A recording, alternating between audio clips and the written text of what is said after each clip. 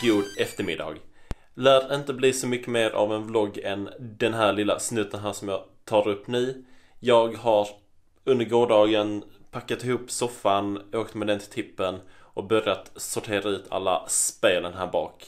Så att vi sakta men säkert kan då bygga om den här källan till någonting vettigt. Och nu har det även börjat eka här inne så det, det börjar hända saker. Eh, en sak som har hänt i Pokémon Go är att vi har fått oss ett väderavbrott.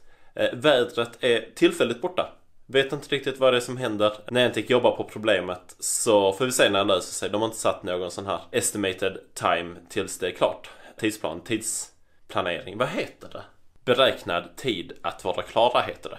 Så Niantic har inte satt någon eh, tid när de beräknar att vara klara med det här problemet men förhoppningsvis löser det sig under dagen.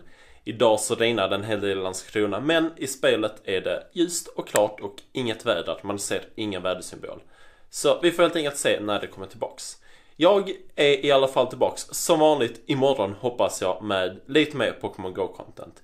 Tills vidare så kan ni checka in eh, Chris Whippets kanal. Han har precis lagt upp Groudon Raids så det ska bli kul att se det också. Eh, sen när eh, lillan ligger och sover. Så vi ses imorgon.